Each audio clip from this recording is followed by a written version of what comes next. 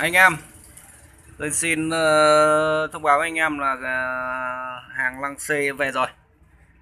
Sau uh, chắc là phải đến một tháng hơn hơn tháng gì đấy tôi đặt hàng thì bây giờ mới về được.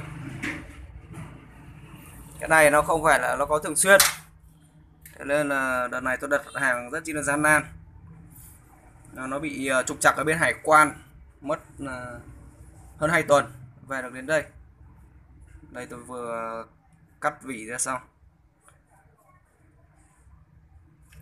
à, ờ, tất cả những cái anh em mà đặt hàng ấy uh, yên tâm. Chắc chắn là tôi sẽ gọi điện. Khi mà bắt đầu ờ, tôi buộc bắt đầu tôi làm bắt đầu có đồ vâng, thì tôi sẽ liên lạc ai đặt hàng trước xa trước.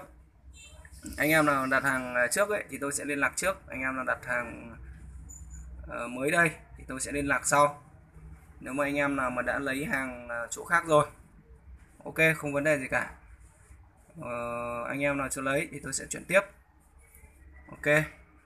Tôi xin uh, cái video này tôi xin thông báo anh em là có hàng rồi thế thôi. Để anh em uh, biết. Ok. Đây đóng lưỡi này. Chỗ này nhìn nó còn vàng hơn cả cái vàng của tôi này, vàng của tôi nên là vàng bốn con chín nhưng mà nhìn nó không già. Cái này là chắc là vàng già hơn. Này, chắc phải năm con chín. Ok, anh em.